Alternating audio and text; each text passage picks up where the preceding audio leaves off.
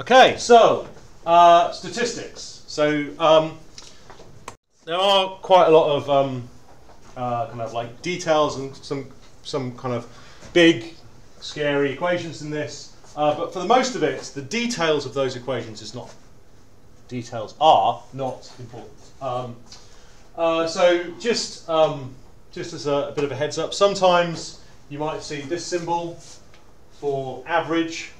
Okay, so sometimes uh, if you were to get a bunch of numbers, add them all up, divided by the number of numbers you have, that's the average, uh, or more specifically, the mean. Okay, use that symbol. Um, but alternatively, we also use, um, uh, if you've got a set uh, number of measurements of a variable x, we might call the mean x with a little line over the top. So that might be the mean of the variable x.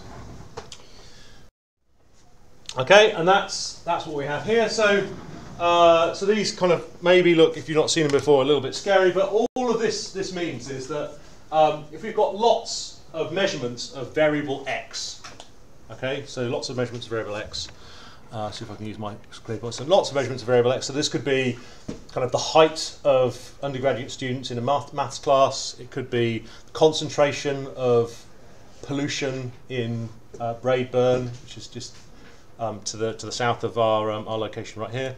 Um, so we've got lots of measurements. Uh, so I is just the kind of the nth number of measurements. So the first measurement, the second measurement, the third measurement. So from the first measurement, so what this what this this backwards e looks like. Was that a forward e? Okay, this is actually a Greek sigma, big S. So this just means from the first measurement until the last measurement, you add them all up. Okay? So sum, okay? Uh, and then you divide by the number of measurements that you have, okay? And that's all mean is, okay? So there are these, that, that's basically, if we had, in this example here, if we had, if we, for, for sample A, we've measured, say sample A is the, uh, the concentration of mercury in the stream uh, as we go at the bottom of the, um, the science area. Okay, so we could make it two places. We could make it upstream,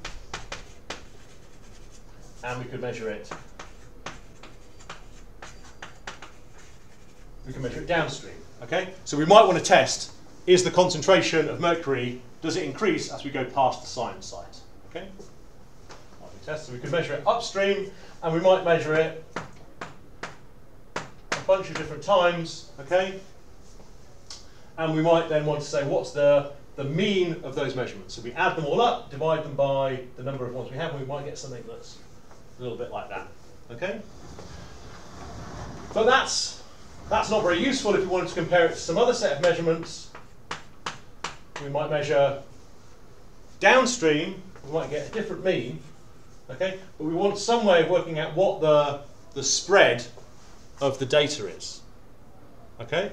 So we could just take the lowest and the highest, and we could make our error bar that. I mean, that would be a thing that we could do, right? That would be the whole range of the data.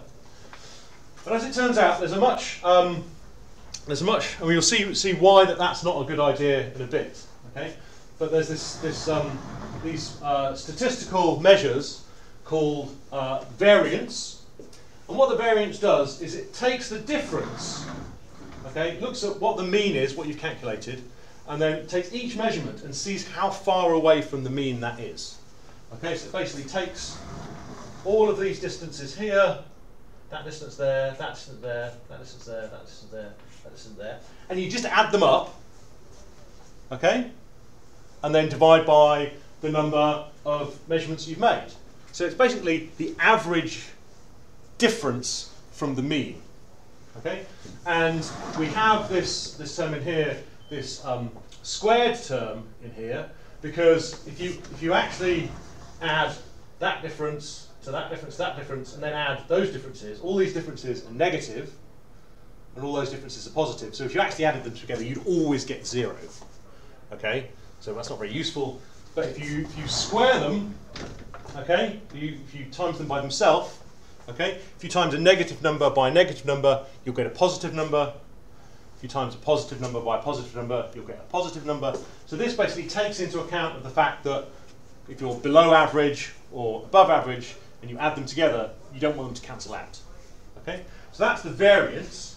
Okay? But if you actually wanted the average difference from the mean, okay, you'd want to get rid of, you'd want to undo that mathematical trick that you've done when you squared it. Okay?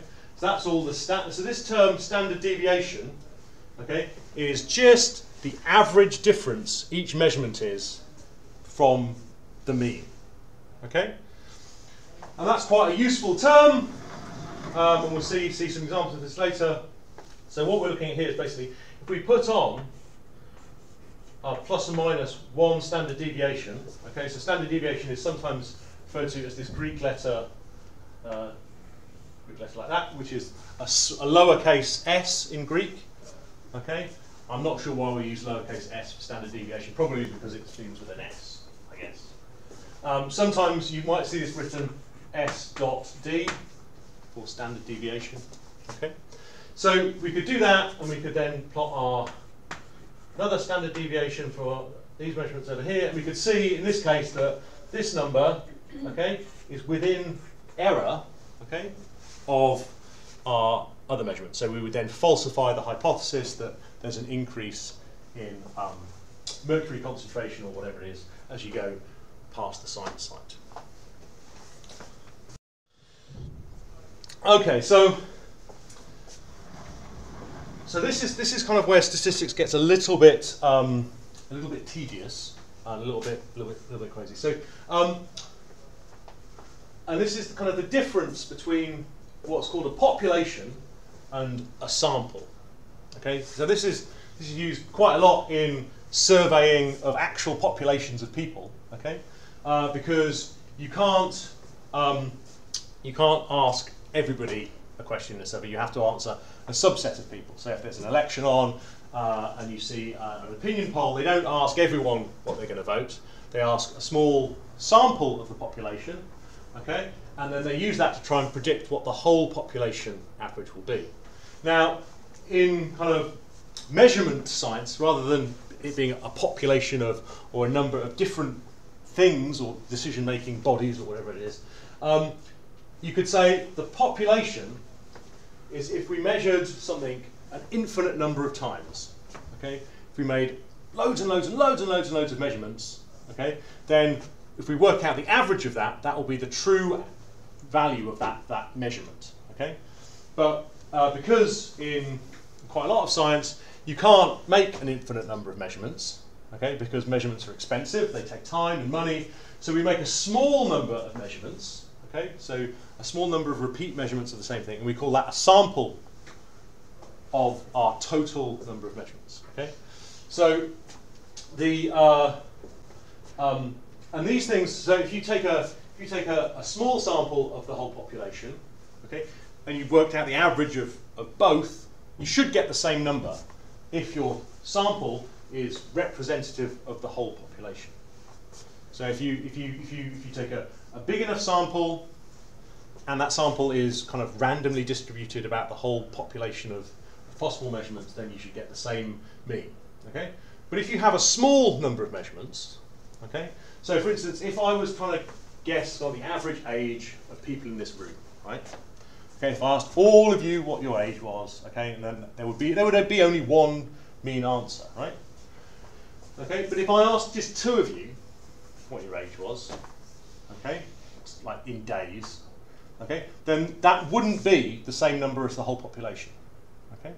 So that there is always some difference between measuring a feasible number of people in a sample and the whole population. Okay, so we, uh, we have these, uh, uh, these problems with this, so we, we have to basically correct for that, for that difference. So the population mean, okay, uh, and the population variance. So basically, these are the same questions, same equations as before. Okay, uh, and the sample mean and the sample variance. So these are the same equations as before. Okay, so they are basically exactly the same thing. It's just there. This is when you measure everything, every possible measurement of concentration you could ever make in the river, or asking everybody what their age was. Whereas this is just asking a small subset of of that whole population of people or just a small group of measurements. Okay? So they're the same equations, okay? but they'll give you different answers. Okay, and uh, so I'll just go through an example of this. So this is basically just some random data that I've created. Okay, so uh, I created 10,000 data points, uh, and, I've, and, I've, and I've given them so basically some random noise about their mean value. Okay, so they just vary randomly about, I think, about 25. Okay, so I'm going to basically take a small, just randomly select a small number of that whole population. So if I worked out the total average of all those 10,000 um, data points, okay, that's what this dotted line is here. Okay, so that's I think uh, so I've, I've, I've so I've actually I've normalised it to one. So what I've done is I've taken the um, the the the the average of the whole population, and I think that's kind of like 25 or something like that. And then what I've done is I've selected, I think I started off, I selected two data points, okay? And I said, what's the average of those two data points relative to the average of 35, okay? So for the first one, it was maybe a little bit low, and then I selected more data points, okay? And I got a slightly different answer, because like selecting four data points, it's not going to be I could have accidentally like oh, not tall enough. Uh, I could have uh, I could have picked this point, this point, this point, and that point. It's unlikely that if I'd have chosen randomly, I'd have picked those. But you can see the mean of those points is at zero, right? And that's nowhere near the real mean, which is about 25. Okay, so in that case, I would have had a number that's like way down here. Yeah. So the point of this is the more data points that you sample in your sample, okay, the closer to the true mean of the whole population you get. So when you're when you're out here, once you get kind of like if you sample 25 numbers randomly from this this kind of cloud of data up here, okay, the mean of those 25 numbers, okay, will be um, close to the mean of the whole population. Okay, if you sample fewer, not less, fewer uh, samples, okay, you're likely to have some error between your sample mean and the population mean.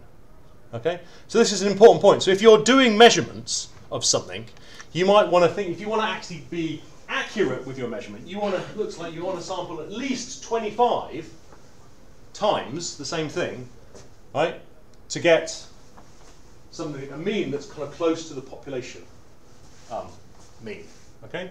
So if I wanted to get your kind of the, the if I wanted to know the average age in days or the average height or something of undergraduates in Edinburgh, okay, I would have to find at least 25 undergraduates and measure them.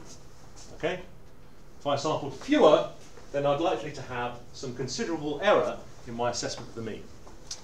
Now, when it comes to the variance, okay, it's not quite so simple.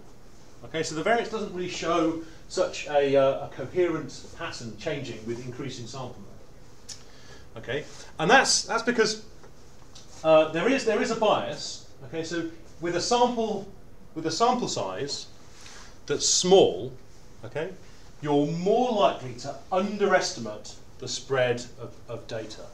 Okay, and if you look at this distribution up here, you'll see the reason why. Okay, so if you have a small number of measurements, you can see that the density of this cloud of data is higher around the mean, okay, than it is out here.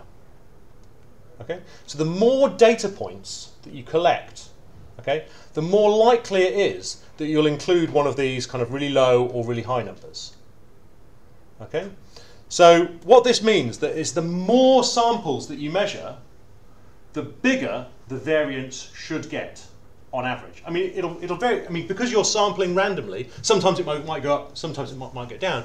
But on average, the um, sample variance is always an underestimate of the true population variance.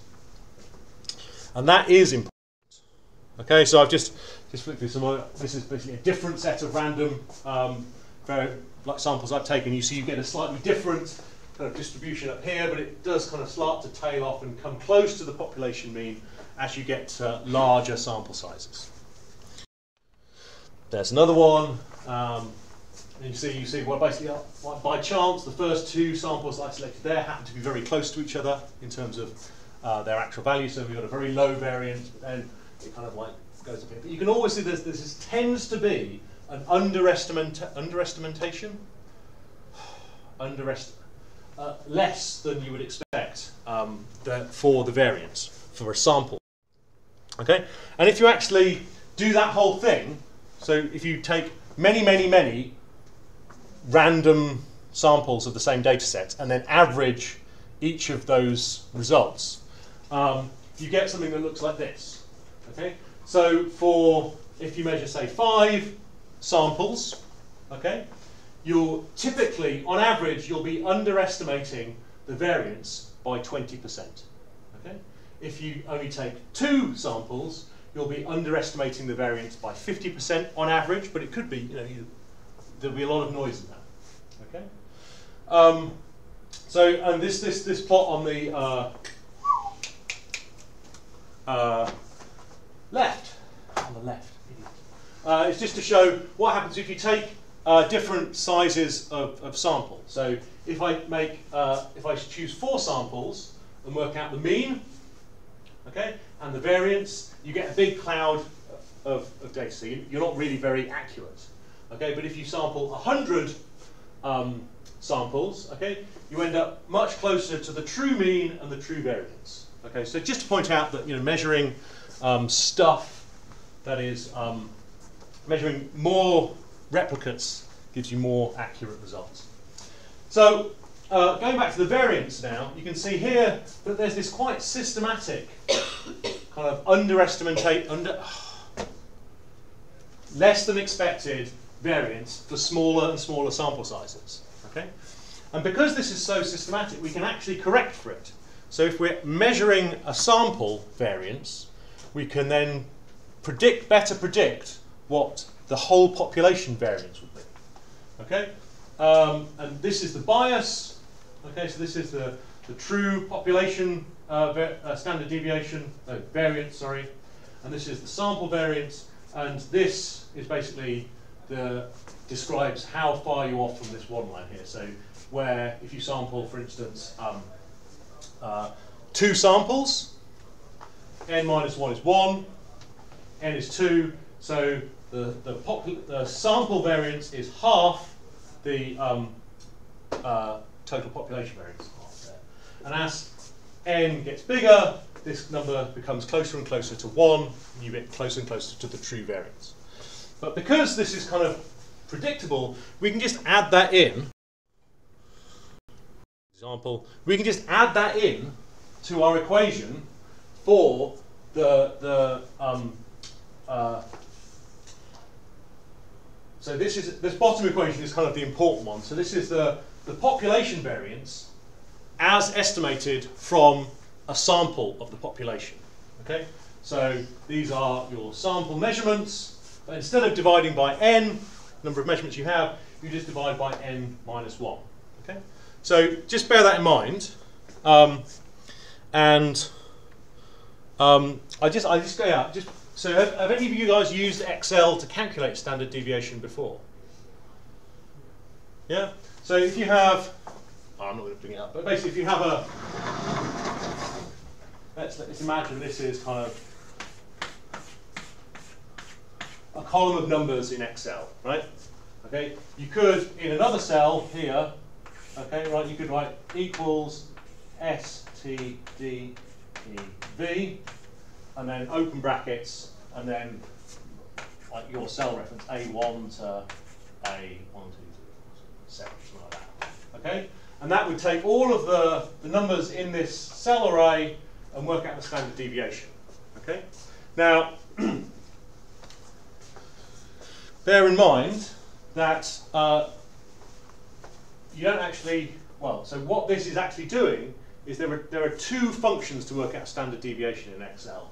There's equals sdev dot p and s dev dot s.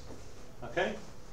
So what this is doing is if you use sdev dot p, okay, that uses this equation, okay? So it uses it basically the one that that doesn't divide by n plus 1. So it's basically working out the standard deviation of the population, assuming that you've given the, the Excel the whole population of measurements. Okay, whereas uh, sdev.s will, um, will do this. It will assume that you've given it a sample of the total population and it will give you the variance of the population. Okay, so just to point out that I think when you, if you don't put the dot p or dot s, it will do the dot s one. Okay. So uh, I mean, it, it, so this number, the sdev dot p, okay, this uh, which is this equation, okay, you're dividing by n, whereas this one you're dividing by n minus one. So that means that your variance will always be bigger if you use this equation than if you use this one. So it's just something to watch out for is that you can kind of trick yourself into thinking your error bars are smaller than they, they are, they are than they, they should be if you use sdev.p when you should have used sdev.s. But you'll you'll come across that hopefully more. Okay, so this is just um, this is just a representation of what that distribution of random data looks like. Okay, so if you take that big cloud of data and you basically draw a histogram, okay, you're much more likely to get a, uh, a measurement that's closer to the mean than you are to further away from the mean. Okay, and this is called a normal distribution, um, uh, and it's actually very useful uh, in, um, in in science. So basically, what, what it allows you to do is to uh, if your data actually is randomly distributed, but most likely to be the mean, okay, then you can say that if you've got plus or minus one standard deviation, okay, then kind of 60, 62 and a bit odd, um, no, what is it? Uh, uh, yeah, 60, 68% of your data is likely to be within that that that bound there, right? Uh, if you do two standard deviations, then you're um, you're almost kind of like 95%. I think you're just over 95% sure all of the data is within this this region here. So what that what that actually means is that with, if we go back to these kind of actual measurements, okay, if we've got our our mean, and in this case, if we put two standard deviations on there. Okay, what that means is that there's if we make another measurement, okay, there's a 95% chance that it will fall between here and here. Okay, so that's quite useful to know if you're trying to determine whether uh, this number, okay, is statistically different to another number. Okay, because you can say, well, if our, our other measurement is up here, okay, so basically, because these error bars don't, let's make them not overlap, because they don't overlap, okay, we can say, well, there's a 95% chance that these are not the same number. Okay? So there are, there are actually more detailed statistical tests that you can do, but it's kind of basically a rough, kind of rough and ready, uh, if you just plot two standard deviations either side of your data point and go, is it the same? And if it's not the same, you can say it's not the same. If they are overlap, you can't say that you can distinguish those two numbers. so Massimo will go over uh, more of this in kind of uh, when it gets to Massimo time. Um, 68, 95, there we go. I remember the right numbers using maths. Um, ignore that. Okay, so these are some of the, of the functions that you're using. You'll come across these in the tutorial sheets um, uh, later on. So uh, if you don't can't get to grips with that, those kind of functions of Excel, do go over those with your um, tutors, which you guys have met, right? Yeah, met the tutors. Sweet. Um, okay, so I'll say a little bit about correlation. Okay, so uh, if you've got two variables, okay, that, that so you, you, you're measuring, um, you might want to know if there is any relationship between those two variables. Okay, so uh, for instance, I might want to measure all of the undergraduates and see if there's a relationship between height and weight.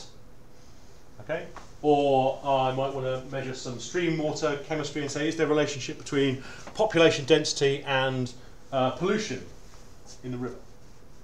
Okay, some, some, something like that. Okay, um, so there's this, uh, this kind of mathematical concept called correlation. So basically, uh, something has got a good correlation if when you vary one variable, the other variable varies with it. Okay, so that would be a, a very good positive correlation. If there was no relationship at all between uh, population density and, and pollution or height and weight, you might expect there to be basically more of a cloud of data. So when you measured like a tall person, they could be just as likely to be kind of heavy as they were likely to be light. Unlikely, um, and then the other kind of correlation is where there's kind of this negative correlation. Okay? So in this case, you measure someone's height, and they would actually be the taller they are, the lighter they are, which is kind of that's a like that's a very odd example, but it could be. Uh, uh, let's think of some example uh, from kind of a river water chemistry point of view. You could make look at if you looked at maybe um, the kind of the, the calcium concentration and pH. Okay, so one goes up, the other one might come down. Um, so that's correlation, and that um, okay, that you can work out with this horrible, horrible uh, equation here, which I don't think anybody has expected you to, to know. Um, but this is something that Excel can work out for you.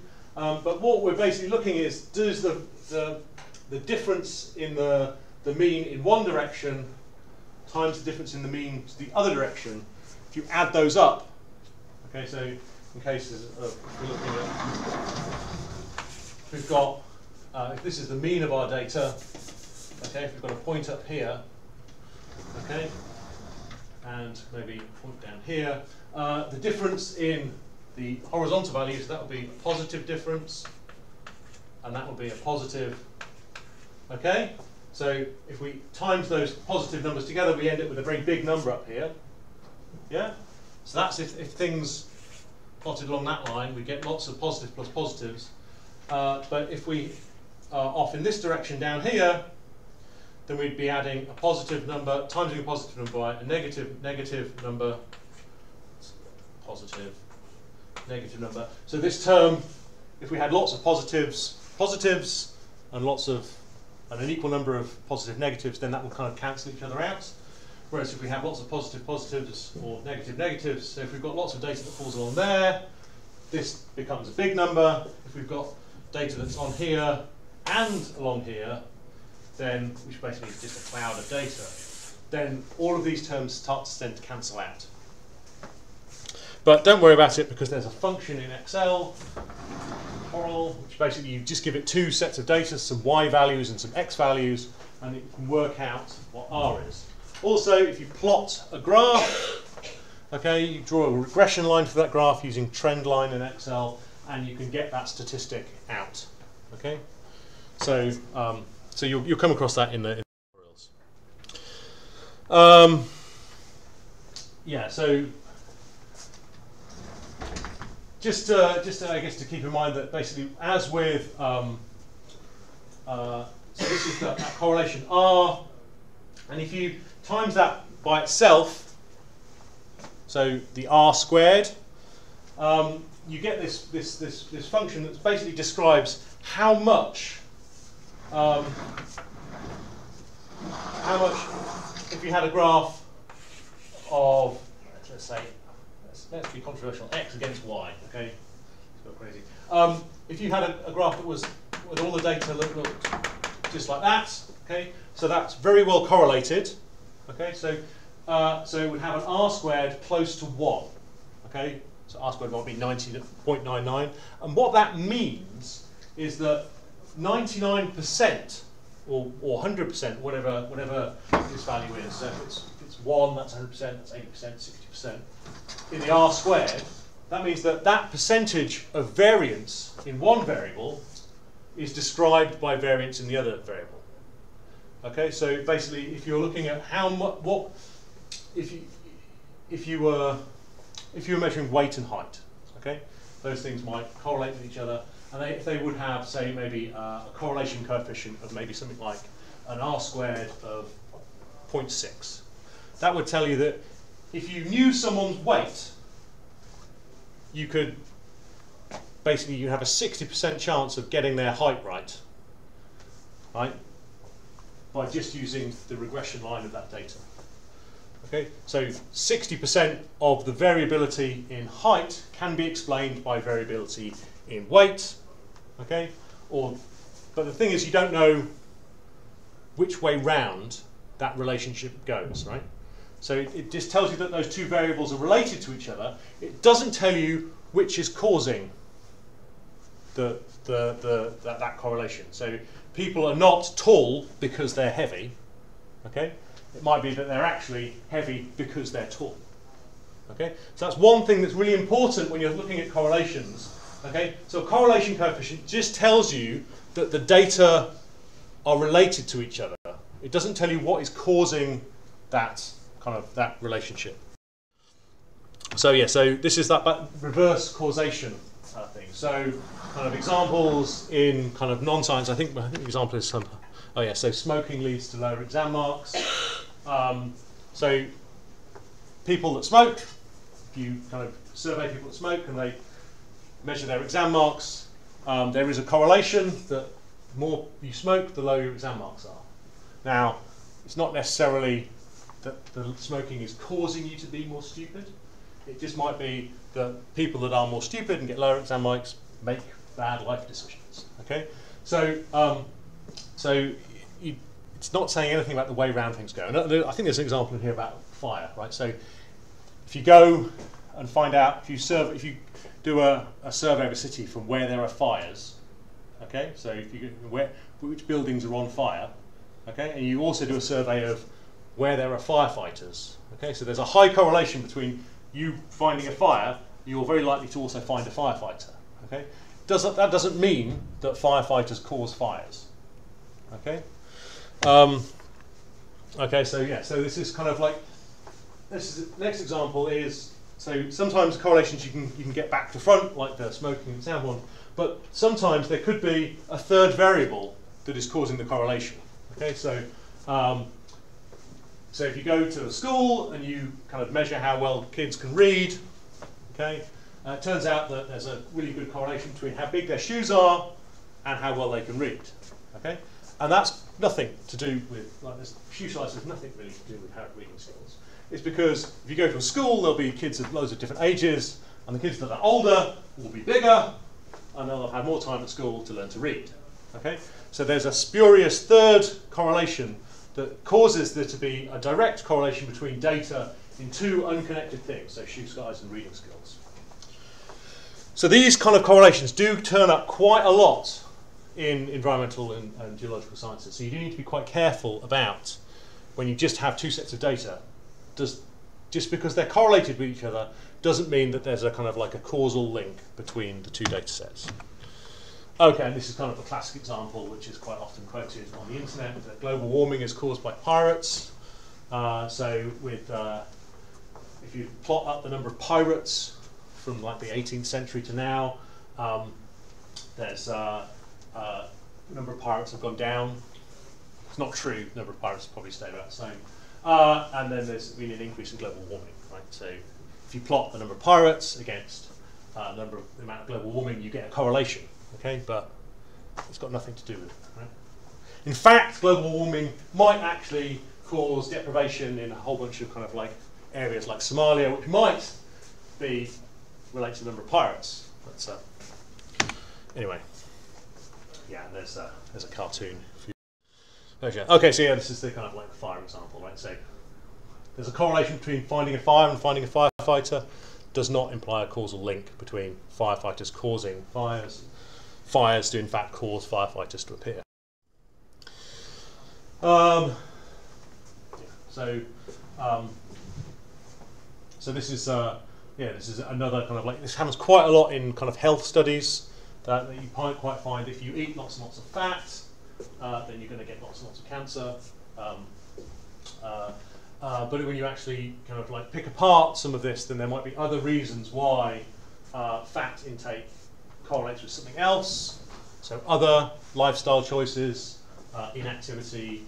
Um, uh, it might be that countries that have high fat intakes have got really, really good healthcare.